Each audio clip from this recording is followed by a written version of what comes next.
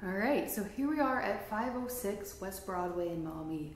I wanted to do a quick 360 walkthrough because this house is so much bigger than it looks on the outside. It's almost unbelievable. Right now we're actually in the family room, which is the front room, um, which goes right into the kitchen. And as you can see, we'll walk through back here. And here is this gigantic other family room. Um, it's really cool. It's as big as two rooms in one. So I really, really like it. You can see over here, if you uh, look down a little bit on your 360 video, there's actually a fireplace and an area to store your wood. And even cooler out here is the backyard. You got a hot tub, you got a screened in porch, and you've got a deck. And your yard is fully fenced in. So there's a lot of room for entertaining. It's a pretty cool house, I have to admit. So over here, walk through, that's upstairs. Here is the downstairs bedroom, which is nice, you know, if you want to get away from people or just have an extra guest bedroom. It's a pretty decent size. It's got some built-in storage, as you can see. If you take a quick look around, you can see it all.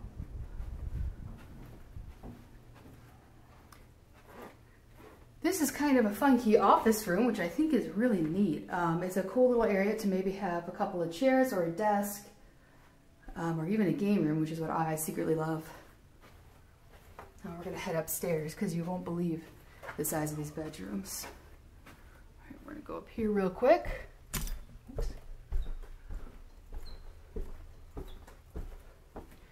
So first off, I gotta show you this master bedroom is awesome. Let's turn on a light here. It's huge. If you scroll up, you can see the giant, tall, vaulted ceilings. Lots of windows and light. It's actually raining right now, and you can still see how bright it is in here. It's just a huge, gorgeous room.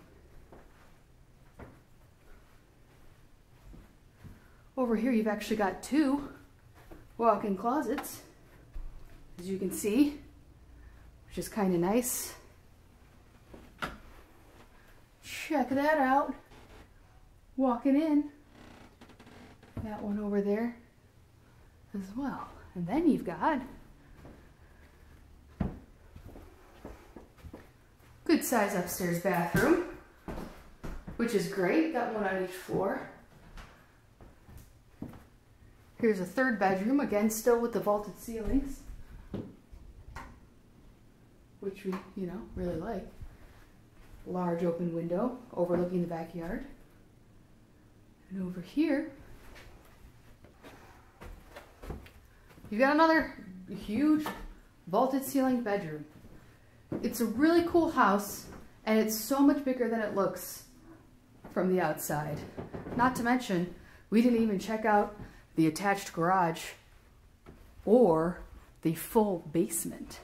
The basement's great as well, but I'm afraid I'll fall down if I go down there, so I'm not going to do that.